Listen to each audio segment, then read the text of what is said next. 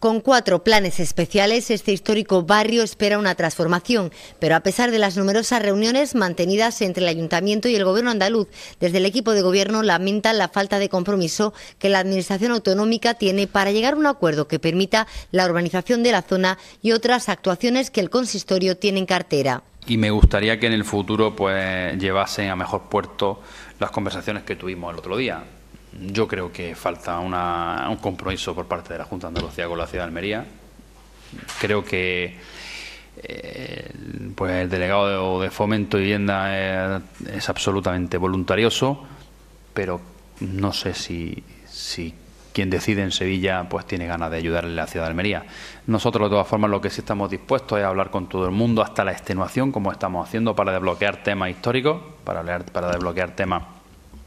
que han venido eh, bueno, ocupando muchos titulares de periódico, pero sin embargo pocas realidades en la ciudad. Esa es nuestra, nuestra misión estos cuatro años que vamos a estar al frente del ayuntamiento y por tanto pues el PERI San Cristóbal es una de las cosas que tenemos que resolver sí o sí, con la ayuda de la Junta o sin la ayuda de la Junta.